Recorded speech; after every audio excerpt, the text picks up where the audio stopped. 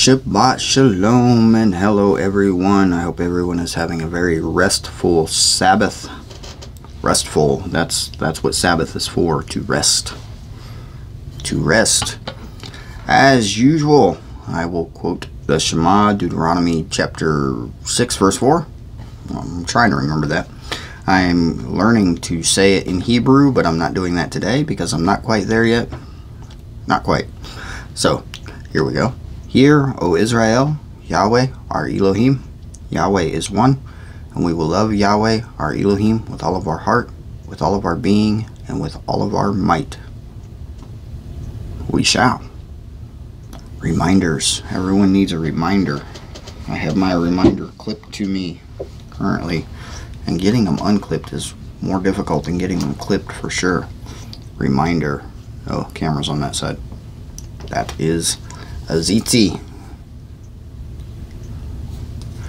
And it even says in what people consider the New Testament that Yeshua himself wore them. So if he did it, why why aren't we? Coffee. All right, so we left off in uh, Exodus chapter 6. Yeah, that's where we left off, right? Yeah. That was it. I read chapter 6 last. Um, I had to confer because my my personal readings are farther along. Um, anyway, chapter 6, we were basically going over some names. the father was telling Moshe what he was going to do. And in chapter 7, we are going to get started with what he is going to do. Uh, the father in verse 30 of chapter 6 had said, And Moshe, or is told, is telling him, I am Yahweh, speak to Pharaoh, sovereign of Mitzrayim, all that I say to you. And Moshe said before Yahweh, See, I am of uncircumcised lips. Why would Pharaoh listen to me? So, chapter 7, let's get right into it, because, yeah. So Yahweh said to Moshe, See, I have made you an Elohim to Pharaoh, and Aaron your brother is your prophet. And Elohim has been used for other terms in here, or other people, not terms, but um, definitely. I've gone over the definition before and how it is used. So, yeah, go back if you haven't heard so. Anyway, it's lowercase Elohim as when it's talking about the Father, even in everything it says about the Father is in capital. If it's He talking about Him, capital. If it's if it's you know Him saying me, it's capital M. Um, if it says Elohim referring to Him, it's capital E. And here we see a lowercase e. So yeah, I'll just shut up and read. You shall speak all that I command you, and Aaron your brother shall speak to Pharaoh, to let the children of Israel go out of this land. But I am going to harden the heart of Pharaoh, and shall increase my signs, capital M, my signs, and my wonders in the land of Mitzrayim. And Pharaoh is not going to listen to you. And I shall lay my hand on Mitzrayim, and bring my division and my people, the children of Israel, out of the land of Mitzrayim, by great judgments. And the Mitzrayites shall know that I am Yahweh when I stretch out my hand on Mitzrayim. And I shall bring the children of Israel out from among them. And Moshe and Aaron did as Yahweh commanded. So they did. Now Moshe was 80 years old, and Aaron 83 years old, when they spoke to Pharaoh. And Yahweh spoke to Moshe and to Aaron, saying, When Pharaoh speaks to you, saying, Show a miracle for yourselves, then you shall say to Aaron, Take your rod and throw it before Pharaoh, and let it become a serpent. So Moshe and Aaron went into Pharaoh, and they did not, and they did so as Yahweh commanded. And Aaron threw his rod before Pharaoh and before his servants, and it became a serpent. But Pharaoh also called the wise men and the practicers of witchcraft. And they, the magicians of Mitzrayim, also did so with their magic. And they, each one, threw down his rod, and they became serpents. But the rod of Aaron swallowed up their rods. And Pharaoh's heart was strengthened, and he did not listen to them, as Yahweh had said. And Yahweh said to Moshe, The heart of Pharaoh is hard, he refuses to let the people go. Go to Pharaoh in the morning as he goes out to the water, and you shall stand by the river bank to meet him, and take in your hand the rod which was turned into a serpent. And you shall say to him, Yahweh, the Elohim of the Hebrews, has sent me to you, saying, Let my people go. So they serve me in the wilderness. But see, until now you have not listened. Thus said Yahweh, By this you know I am Yahweh. See, I am striking the waters which are in the river with the rod that is in my hand, and they shall be turned to blood. and the fish in the river shall die, and the river shall stink, and the Mitzrites, Mitzriites shall find it impossible to drink the water of the river. And Yahweh spoke to Moshe, Say to Aaron, Take your rod and stretch out your hand over the waters of Mitzrayim, over their streams, over their rivers, over their ponds, and over all their pools of water, that they become blood. And there shall be blood in the land of Mitzrayim, both in wooden and in stone containers. And Moshe and Aaron did so, as Yahweh commanded. And he lifted up the rod and struck the waters that were in the river in the eyes of Pharaoh and in the eyes of his servants. And all the waters in the river were turned to blood. And the fish that were in the river died. And the river stank. And the Mitzriites were unable to drink the water of the river. And the blood was in all the land of Mitzrayim. And the magicians of Mitzrayim did the same with their magic. And the heart of Pharaoh was strengthened, and he did not listen to them, as Yahweh had said. And Pharaoh turned and went into his house, and his heart was not moved by this either. And all the Mitzrites dug all around the river for water to drink, for they were unable to drink the water from the river. And seven days were completed after Yahweh had struck the river. Seven days, no water.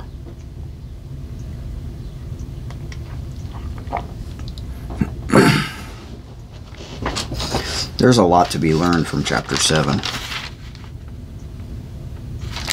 Has the Father ever hardened your heart, made you not want to do something that you know you should do?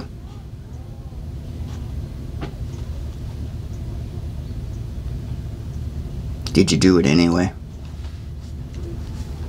Even though you should do it, and even though you did not want to do it, did you do it anyway? Because He wanted you to do it? Just a thought. Going into chapter 8. And Yahweh spoke to Moshe, Go to Pharaoh and say to him, Thus said Yahweh, Let my people go, so that they may serve me. But if you refuse to let them go, see, I am smiting all of your borders with frogs. Frogs. And the river shall swarm with frogs, which shall go up and shall come into your house, and into your bedroom, and on your bed and into the houses of your servants and on your people, and into your ovens and into your kneading bowls. Then the frogs shall come up on you and on your people and on all of your servants. And Yahweh said to Moshe, Say to Aaron, Stretch out your hand with your rod over the streams, over the rivers, over the ponds, and cause frogs to come up on the land of Mitzrayim. So Aaron stretched out his hand over the waters of Mitzrayim, and the frogs came up and covered the land of Mitzrayim. And the magicians did so with their magic, and brought up frogs on the land of Mitzrayim. These magicians really don't have any common sense. I mean, uh, he's threatening to swarm the entire land with frogs, and they're like, oh, well, we can do that too. So, you know, they're just adding to the problem. Right? I mean, that just, yeah. Anyway, verse 8.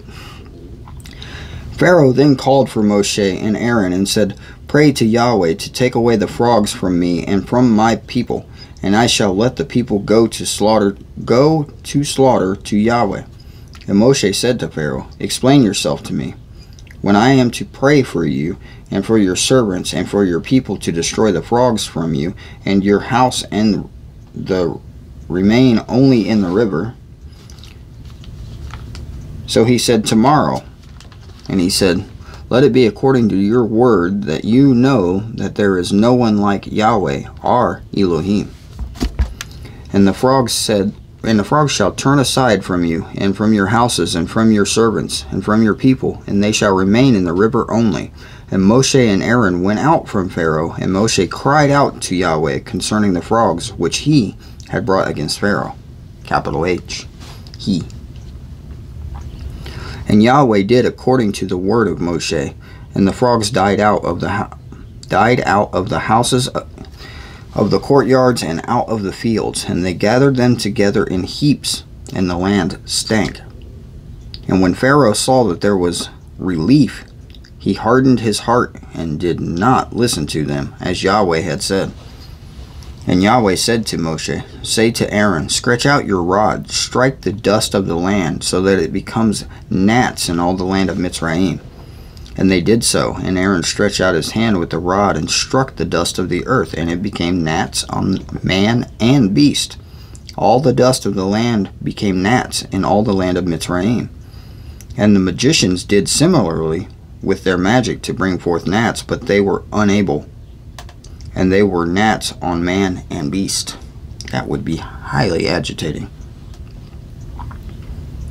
The magician said to Pharaoh, This is the finger of Elohim. But the heart of Pharaoh was strengthened, and he did not listen to them, as Yahweh had said. And Yahweh said to Moshe, Rise early in the morning and stand before Pharaoh as he comes out of the out to the water, and say to him, Thus said Yahweh, Let my people go, so that they may serve me. Or else, if you do not let my people go, see, I am sending swarms of flies on you and your servants and on your people and into your houses. And the houses of the Mitzrayim shall be filled with swarms of flies, and also the ground which they stand. And in that day I shall separate the land of Goshen, in which my people dwell, that no swarms of flies shall be there, so that you know that I am Yahweh in the midst of the land. And I shall put a ransom between my people and your people. Tomorrow this, sh- this sign shall be. And Yahweh did so. And thick swarms of flies came into the houses of Pharaoh, and into his servants' houses, in, into all the land of Mitzrayim. And the land was ruined because of the swarms of flies. Ruined. Sounds like his muffler's ruined. Pharaoh then called for Moshe and Aaron and said, Go slaughter to your Elohim in the land. And Moshe said, It is not right to do so, for we would be slaughtering the abomination of the Mitzrayites to Yahweh, our Elohim. See, if we slaughter the abomination of the Mitzrayites before their eyes, they would would they not stone us? Let us go three days' journey into the wilderness. Then we shall slaughter to Yahweh our Elohim, as he commanded us. And Pharaoh said, I am letting you go then. You shall slaughter to Yahweh your Elohim in the wilderness, only do not go very far away. Pray for me. And Moshe said, See, when I leave, when I leave you, I shall pray to Yahweh, and tomorrow the swarms of flies shall depart from Pharaoh, from his servants and from his people. But do not let Pharaoh again deceive, not to let the people go slaughter to Elohim, or to Yahweh. It actually said Yahweh. Yeah. and Moshe went out from Pharaoh and prayed to Yahweh. And Yahweh did according to the word of Moshe and removed the swarms of flies from Pharaoh, from his servants and from his people. Not one remained. But Pharaoh hardened his heart at this time too, and did not let the people go. Let my people go. Yeah. I'm going to go ahead and stop there today just because I am in need of rest and I am in need of study. So two chapters is what we were doing. I will attempt to get a couple of more later in this week just because I will still be doing my uh, Bible study that it'll be up on Patreon and I've been posting it to the Grimlin Pack as well the members of the channel I will uh, have that up on Monday, usually. I think I haven't missed a Monday yet since I started doing it. But hey.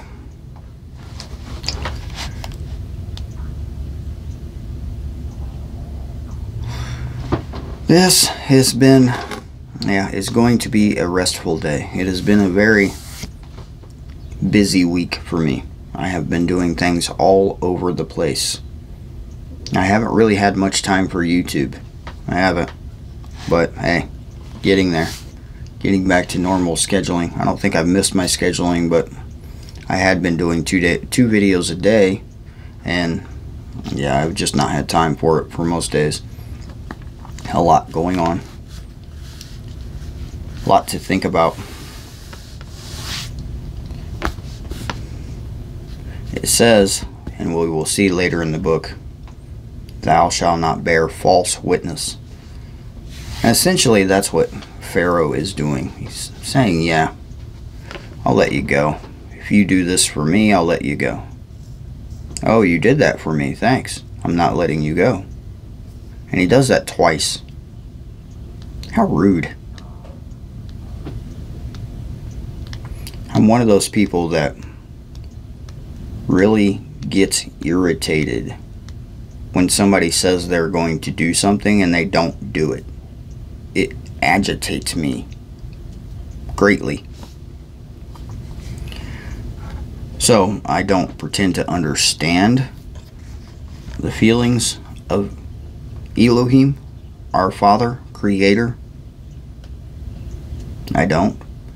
But I can see keep saying what you're you're going to do something and you're not going to do it. So look what I'm going to do to you. And I'm going to progressively make it worse until you do what you said you were going to do. Or until you do what he says you're going to do. So yeah, there are lessons to be learned here.